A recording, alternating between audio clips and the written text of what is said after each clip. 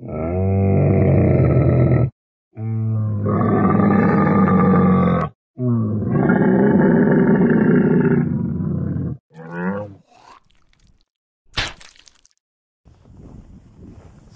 пополам земляне-земляне с вагинами. Как вы видите по окружающему меня пейзажу, в Пензе сейчас зима. И очень хочется к теплому морю, а лучше к океану. Знаете, я ведь не одинок в своем стремлении. Некто Остап Сулейман Ибрагим Берта Бария Бендербей тоже стремился к теплому океану в Рио-де-Жанейро. Рио-де-Жанейро – это хрустальная мечта моего детства. Не касайтесь ее своими лапами. Ну ладно. Ну хорошо, Ося, если ты настаиваешь, я не буду трогать Рио своими руками. Но все-таки мы могли бы получить при определенных раскладах в Пензе свой кусочек Рио-де-Жанейро. В октябре 2014 года, после очередной планерки, Василий Кузьмич Бочкарев заявил, что он хочет поставить в Пензе, во-первых, памятник Лермонтову в честь 200-летия его рождения, а во-вторых, памятник Иисусу Христа, статую Иисуса Христа. Памятник Михаилу Юрьевичу, Юрьевичу, простите, Лермонтову планировалось разместить вот здесь вот. Ну, где-то на этой площади. Как говорил Василий Кузьмич, для того, чтобы люди здесь встречались и читали стихи. Ну, я не знаю, что там, или Бородино, или Мцири, кому что нравится. А вот памятник товарищу Иисусу хотели возвести вот здесь где-то на подъеме в сторону Западной Поляны. Но не просто так возвести, а еще сделать лестницу. И при том, что если бы удалось реализовать его, то, наверное, это выглядело бы вот так.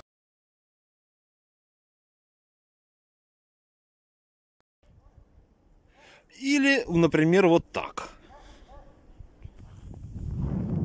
При этом высота памятника составила бы целых 52 метра, что на 14 метров выше, чем в городе Бога. И повыше, чем в Польше и Португалии. Примерно аналогичные скульптуры. Кстати, в отличие от вот этого Спасского кафедрального собора, который в то время также активно строился, статуя Иисуса которые хотели воздвигнуть на Западной Поляне, э, к ортодоксальному направлению христианства, именуемое православием, не имеет, в общем-то, никакого отношения. Такие статуи более характерны для католицизма и для протестантизма. И мне сложно представить, какую ему сумму обошлась постройка одновременно вот этого собора и статуи Иисуса. Кстати, к ней прилагалась не только сама статуя с смотровой площадкой, но еще и скамейки и фонтаны для отдыха тех, кто поднимается на нее снизу. И я думаю, что это все вылилось бы в очень-очень круглую сумму, которая, кстати, частично покрывалась из бюджета. Возможно, и началось бы параллельное строительство храма и статуи. Но через два месяца после заявленного Василием Кузьмичем случился очередной черный вторник. И доллар вместе с ценами с радостным визгом устремились вверх. А наши доходы, но с таким же визгом, но уже далеко не радостным, стали двигаться в обратном направлении. И поэтому столь грандиозный проект пришлось приостановить. А через некоторое время на губернаторских амбициях Бочкарева был поставлен крест. Он был освобожден от своей должности и отправился в Совет Федерации, где пребывал до своей смерти. А на место Василия Кузьмича пришел новый губернатор Иван Александрович Белозерцев, который уже не отличался столь дерзкими замыслами – и он занялся более приземленными делами. В результате мы получили отремонтированный сквер на улице Славы, площадь Ленина и туда дальше за нее сквер Пушкина.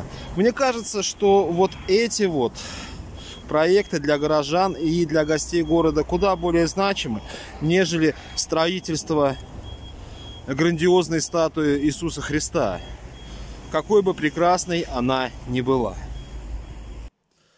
Но объективности ради стоит заметить, что идея возведения скульптуры принадлежит совершенно не Василию Кузьмичу. За 10 лет до этого руководитель Союза пенсионеров России Пензенской области Екатерина Баннова, или Баннова, простите, я не знаю, как правильно ставится ударение, э, озвучила эту идею задолго до знаменитой фразы. Знаете, уважаемые коллеги, мне больно сегодня об этом говорить, но сказать я об этом обязан. Сегодня российское общество испытывает явный дефицит духовных скреп. Ее поддержал э, епископ протестантской церкви «Живая вера» Олег Серов и стал собирать подписи. Но, видимо, собирал очень долго и так и не смог собрать. Поэтому идея возведения скульптуры э, озвучилась только спустя 10 лет. Но идея со статуей не забыта. В 2019 году в Самарской области во время празднования Дня города Зураб Церетели заметил, что он изваял такие скульптуру Христа, правда уже не таких размеров, а 32-метровую, и предложил, как бы так невзначай, ее Самаре. А губернатор Самарской области обещал подумать. Вот этого как раз и не хватало нашему славному гвардейскому экипажу. В том же году губернатор Приморского края, господин Кожемяка, э, выступил с идеей воздвигнуть уже 68, что ли, метровую, то ли 62-метровую статую Иисуса на крестовой сопке, чтобы она, так сказать, осеняла крестным знамением э, суда, которые выходят из Владивостокского порта и встречала гостей из-за рубежа. Правда, я не могу понять, как она будет осенять знамения, потому что, судя по фотографии, руки просто расставлены в стороны.